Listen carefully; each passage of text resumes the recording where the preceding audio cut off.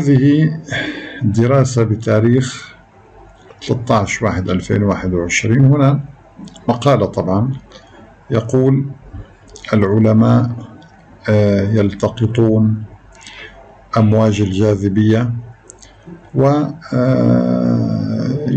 آه، الآن رؤية المحيط الكوني. هذا طبعا الرادار يعمل بالأشعة الراديوية. طبعا هنا أيها الأحبة يعني أنا سأحاول الاطلاع معكم على هذا النص طبعا نحاول أن نقرأ معا هذا النص. آه، أو نحاول أن نترجم يعني هذه الكلمات. يقول هنا إن العلماء يقتربون الآن من تحقيق هدف وهو آه، يعني بعد اكتشاف موجات الجاذبية في الكون الذي تم رصده عام 2016 آه، هناك يعني مجال مفتوح من أبحاث الفيزياء الفلكية.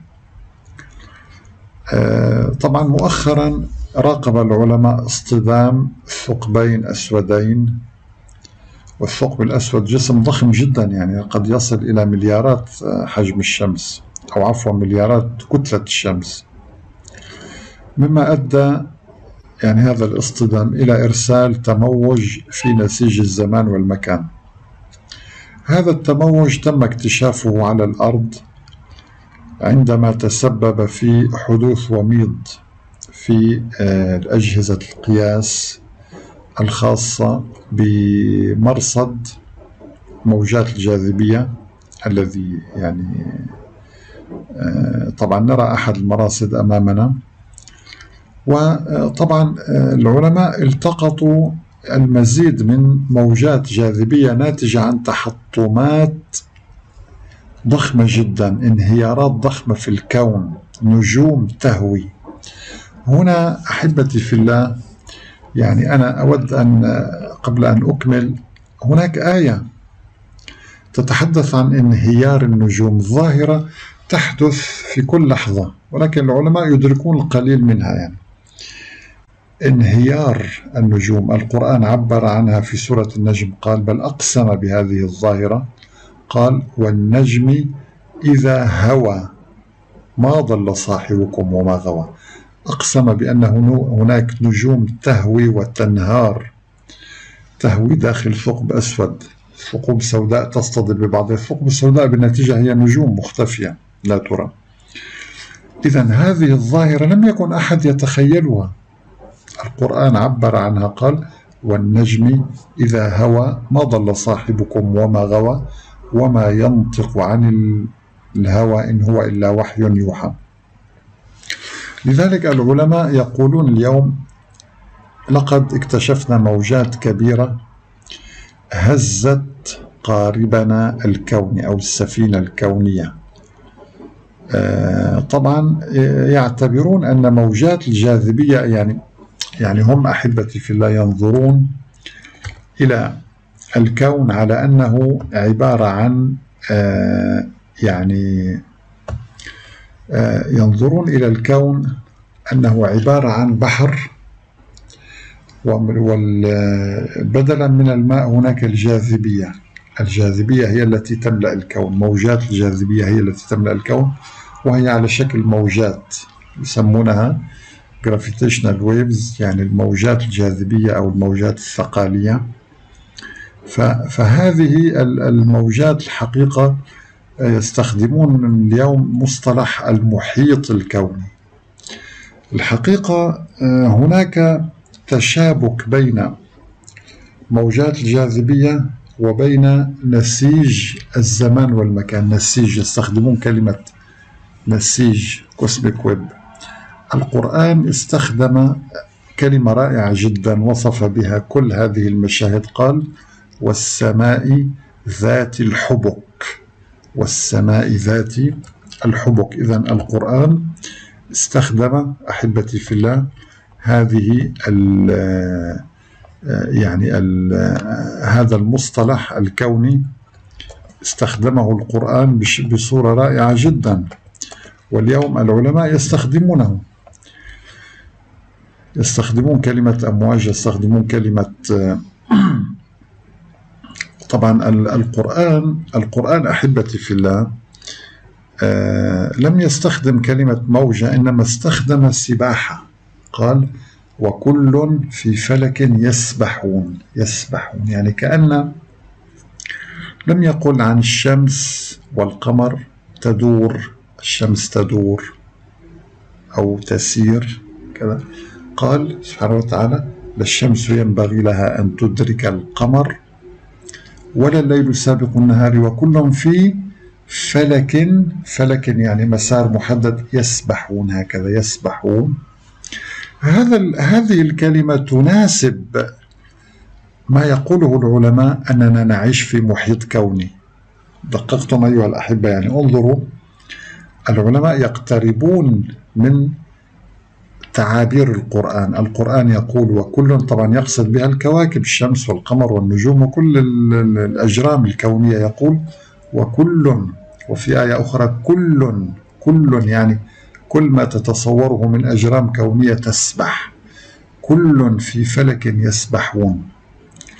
فكما أن يعني هذه النجوم تسبح انظروا هذه طبعا مجرتنا نحن هنا لا نرى شيء لا نكاد نرى سوى نجوم. نظنها ثابتة ولكنها تسبح سباحة حقيقية. إذا أيها الأحبة آه، مثلا العلماء اليوم يتحدثون عن النجوم أولا عن موجات الجاذبية عن المحيط الكوني وهي تناسب كلمة يسبحون. يتحدثون عن نجوم ميتة نابضة آه، تدور بسرعة هائلة آه، مئات المرات في الثانية. وطبعا هذه لها نبضات راديوية آه، موجات راديوية تبثها ويمكن تحويلها إلى صوت. الله أيضا أقسم بها قال والسماء والطارق وما أدراك ما الطارق؟ النجم الثاقب. النجم الثاقب. فإذا أيها الأحبة التخلخل الذي يحدث في نسيج الزمان والمكان بسبب موجات الجاذبية أمكن رصده في مرصد ليغو عام 2016 طبعا كما قلنا وكل يوم هناك اكتشافات جديدة. إذا أحبتي في الله كل يوم هناك اكتشافات جديدة. يعني مثلا هنا هنا أيها الأحبة آه نرى أن آه يعني أن أن أينشتاين مثلا تنبأ بموجات الجاذبية من خلال نظرية النسبية العامة التي أعتقد أنه نشرها عام 1915 وطبعا آه، بعد عقود من الدراسات تبين أن هذه الموجات موجودة وتتغير بسبب وجود النجوم النابضة. النجم النابض يحدث خلخلة أو اضطرابا في في هذه الموجات. نتيجة دورانه السريع ونتيجة نتيجة ثقله لأنه ثقيل جدا. فهو يثقب يثقب نسيج الزمان والمكان. لذلك هو النجم الثاقب. ويصدر موجات ثاقبة أيضا. ويصدر طرقات تشبه صوت مطرقة. هذه هذا هذه الطرقات التي يصدرها أيضا تؤثر على الموجات الجاذبية. وبالتالي العلماء عندما يعني يدرسون هذه الظاهرة فإنهم بذلك أيها الأحبة يعني تعتبر هذه بداية بداية لاكتشاف بداية لاكتشافات عظيمة جدا أحبتي في الله. أنا أحاول أن أترجم الآن حرفيا. أنا الحقيقة هذه المقالة البارحة فقط اطلعت عليها واليوم. ف يعني أستخدم أنا طبعا موقع جوجل للترجمة وأقرأ بعض العبارات آه، يعني التي تقول إن هذه النجوم النابضة آه، تعتبر أدق من الساعات الذرية تعتبر ساعات كونية عملاقة دقيقة جدا آه، دقيقة جدا لا تخطئ لذلك الله تعالى أقسم بها سبحانه وتعالى. سبحان الله يعني أقسم بهذه النجوم الطارقة. طبعا هذا هو البحث هنا آه، بحث يعني دراسة طويلة. نقول إن القرآن القرآن العظيم أحبتي في الله آه، القرآن أشار إلى النجوم النابضة التي تغير شكل موجات الجاذبية أشار إلى الثقوب السوداء أيضا التي بنتيجة اصطدامها تحدث خللا في في في في شكل موجات الجاذبية أمكن رصده مؤخرا؟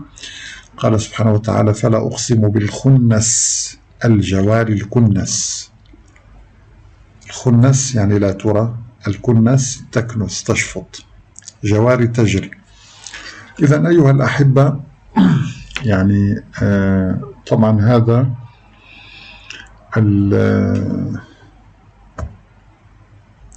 هذا الاكتشاف اليوم نحن نعرفه اليوم عام 2020 أو 2021 بينما هو موجود إشارة إليه في القرآن. إذا إذا الذي يقول إن القرآن يناسب ثقافة عصره طيب هل هذه كانت موجودة؟ مثل قضية بكاء السماء كانت كانت من ثقافة القرن السابع الميلادي كانوا يعلمون أن الفراعنة عندما يموت أحدهم يستخدمون مصطلح بكاء السماء حتى يضعه النبي في في كتابه طب هل النبي كان يعلم بأن هناك حبك كونية نسيج كوني ليستخدم مصطلح أو كلمة الحبك والسماء ذات الحبك. هل كان يعلم أن هناك نجوم نابضة تصدر طرقات وتثقب نسيج الزمان والمكان ليقول والسماء والطارق وما أدراك ما الطارق النجم الثاقب؟ هل كان يعلم بوجود آه، ثقوب سوداء فيقول فلا أقسم بالخنس الجوار الكنس هل كان يعلم بأن العلماء سيستخدمون مصطلح الشاطئ الكوني والموجات الكونية وموجات الجاذبية الكونية آه، حتى يستخدم كلمة يسبحون فيقول وكل في فلك يسبحون. هل هذه ثقافة القرن السابع الميلادي حيث انتشرت الأساطير؟ يعني في ذلك الزمن كان الناس يفسرون ظاهرة آه، ظاهرة مثلا الريح يقولون هناك إله للريح الرعد إله للرعد. البرق هناك إله للبرق يدعى زيوس حسب زعمهم. هل, هل هذه الثقافة نجدها في القرآن ثقافة الأساطير؟ أعطوني آية واحدة فيها أساطير في القرآن كله.